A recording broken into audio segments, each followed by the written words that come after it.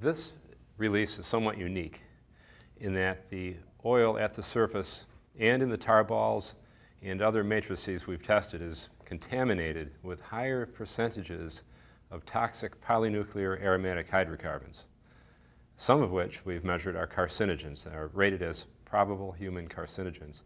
Thus, this oil uh, exposure is more toxic than that of fresh virgin crude.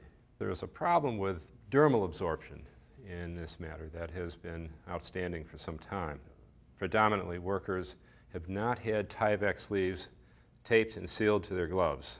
And I have many examples and photos of workers in the water collecting sludge and material with their sleeves immersed in water and water entering the open glove.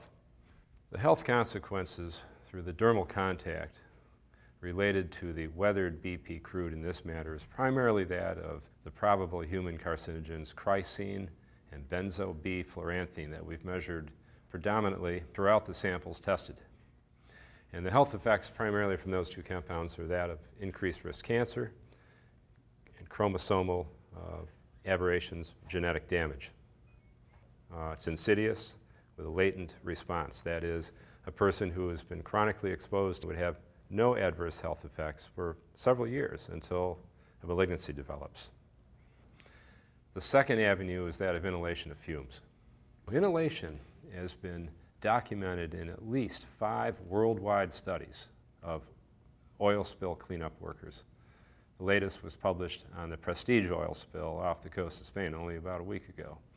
And these human epidemiologic studies show statistically significant increased rates of lower and upper respiratory tract symptoms, uh, chromosomal genetic damage, and uh, neurological symptoms. And the problem we have in identifying this, that is the average physician would ultimately mistake the early symptoms as flu. The symptoms initially include nausea, uh, vomiting, uh, fatigue, headaches, uh, very consistent pattern of that we see all the time with a 24-hour flu bug.